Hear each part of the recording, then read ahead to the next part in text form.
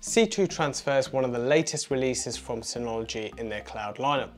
This is for encrypted file transfers.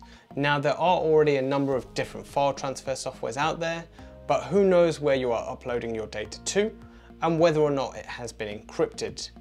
In this video, we take a look at how this all works, but before we do, let's learn a little bit about the new software from Synology. With C2 Transfer, the files that are uploaded are encrypted on the C2 servers. Also, the recipients that receive it need to verify their identity before they can access them. This ensures the right person gets the access. How much does it cost?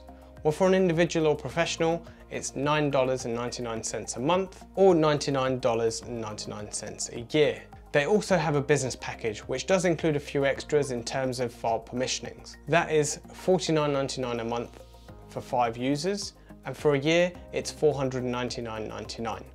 If you have more than five users and you want to be able to add more, it's $69.99 per additional user. However, in this video, I'm going to be looking at the individual one. So for the user accounts, the transfer limits are 20 gig per transfer, and you can have up to 100 concurrent transfers at once. You have the ability to add watermark to files, and we'll be having a look at that shortly in the demo. Some of the other features we'll look at are file requests, user identity authentication, and how the web portal works. One thing to note on the web portal though, it currently works on Chrome and Edge, but Safari support is coming later this year. Anyway, let's jump in and have a look. So you log into the C2 transfer page. I was already logged in, so it's brought me straight to this page. This is the first thing you would expect to see is your encryption key. Give yourself an encryption key, make sure it's strong and complex. Once you've given yourself an encryption key, just be sure to remember this. Um, maybe use this as your one complex password that you need. You click set and it will go off and set that for you. Now we're in the C2 transfer, let's have a look at what we can do. Just before I go ahead and upload files into this file transfer tool, I'm going to go ahead and show you exactly what I have in the folder. A couple of files. I have this uh, Synology Surveillance Station video and the JPEG that I used as the image. So I'm going to quickly go back across, click upload files, go to folder, and then it's going to take me to where I am. So that was the folder that I showed you. So Synology C2 transfer, we want upload test, and then it's going to say this will upload all the files from the upload test folder. Are you sure you want to do that? You click upload, and there we go. You can see the files in here. So if you want to see what's within there, there's a little I button here. We can go and you can see what is there. So go across, there's no preview for this one because it's a video and you can see my images just there for that one. So you can see what there is. So just looking at the top here, we've got a name, so we can call this inside wire test upload upload client one, for example. Um, then we can have a look at some of the settings down here. This is where we go through, you have link expires, so if you have something time sensitive or you can say you've got 30 minutes to download this, 3 hours to download this, you can set those sorts of timings and that goes all the way up to 14 days. So for the sake of this demo, we only need 3 hours, well even that's too long, it's not going to be that long. Um, and then we have the limit, so you can say there's one download limit, um, we can send it to whoever you want and you can say you can only download this once and that's it. Uh, so that's quite a good feature to have there. Um, so what it says here is once enabled, recipient will not be able to preview the file content before downloading.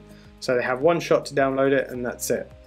Um, if you untick that, obviously they can download it as many times as they want. Uh, you can add a watermark, so you can see on the image just here, it's got confidential across it, but actually if I wanted to, I could just put whatever I want. So if I wanted it to say inside wire, I can get it to say inside wire.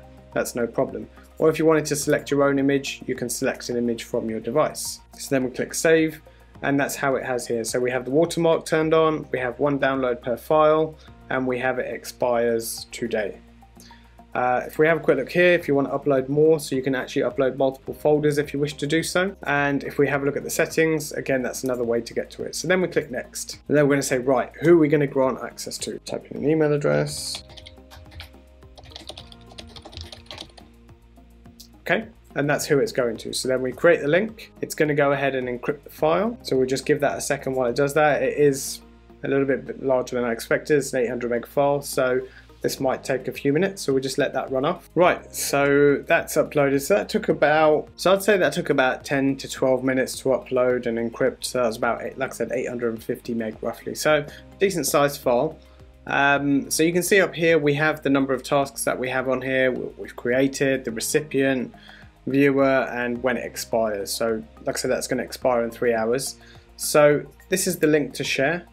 You can either copy the link, you can email the link or you can get the QR code. And then it says down here to secure your transfer C2 will not send the file sharing notification to your recipient.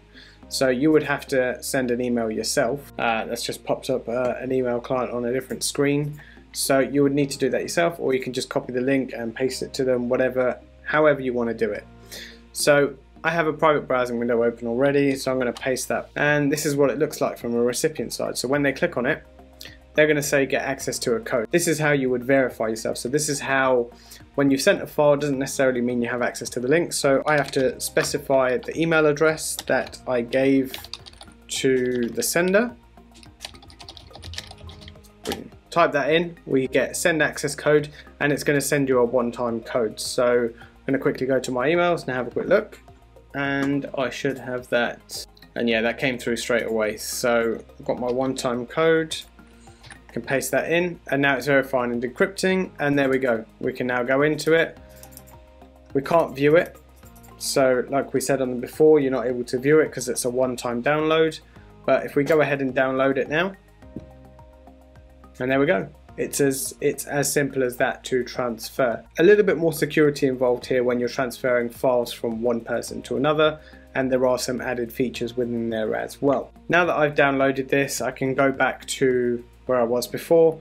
And if I do a quick refresh down here you can see I've had one viewer now. I'm going to go back now and retry and download the file just to see because we did say it was a one-time download so I've copied the link again.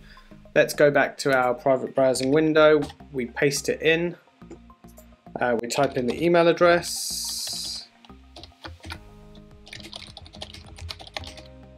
And we click send access code We'll wait for that to come across. There we go, that came through quite quickly again. So the one-time codes do come through very quickly. Paste that in and you can see here I don't actually have the option to download now. Um, so yeah, it does work, which is really good. Um, and it doesn't allow you, so the one-time download definitely does work. So just to show you that again, there's actually another option along with email as well, and that's mobile phone. So you can click, um, let's just upload a file. I'm just going to upload the image this time um, just for the, the quickness. We can again add the watermark, one download image, whatever you want to call it. And then obviously it's got whatever number you want to put on there, the date, and then whatever task, whatever it is. So click next and you can see the drop down here actually gives you a mobile phone number. So I'm actually going to type in my number and you can add in multiple phone numbers. So depending on who you need to give access to, there's multiple people there as well. So then we create the link and that's going to quickly upload and go ahead and encrypt. And there we go, you can see that's set up there. So again, it doesn't actually send them an email or anything, but we can copy the file. Just click copy. Let's go to our private browsing window. Um, see how this one works. So we paste and then it will ask you to type in the mobile phone number that you supplied. And uh, just to show you, there you go, you can see my don't know how much that's going to focus in, but my one-time code has come through. So there we go. And there you go, we have access to it. So we can go ahead, download that. That's now downloaded. We won't be able to download that again. And just to show you the file that came through, it's just here. So you can see it's got confidential written all over it. Uh, and just to show you the one from earlier, that one has inside wire on it. So what we wrote on there, it's actually there. One thing I do want to try is, uh, I'm not sure we didn't actually try it previously. I just want to see if it gives you the option to add both email address and mobile phone. No. So if you, you can only enter one or the other basically. So if you try and do, so when you speak to your recipient, you can just say, okay, either email or phone number, you choose, whichever one's easier. And then you can select it that way. So you can only do one or the other. And then if we have a look at this, the, the portal is very simple. It's got the list down here. Once you're done with them, you can, once you're done with them, you can click more, delete, go ahead and delete the task. And same again with this one, we can go ahead and delete this as well. So we're deleting them both. So that's go, gone ahead and deleted. Click refresh in the bottom and now they've disappeared. So that's the, the file transfer side of it. In terms of the request side of it, so you can actually say to someone, I'm going to send you a link, upload your file here, which is again something really good. Sometimes you have the software and someone else doesn't have it. You can just say upload it here and it can get sent straight to you directly. So let's go to file requests. We can go to create file request and this is going to be client client X. Uh, let's just say contract for example. Um, you can put when the link expires, so this one actually gets you to specify a whole time that you have. You can say to someone, okay, you need to send me this document by uh, tomorrow 7 p.m. for example. Um,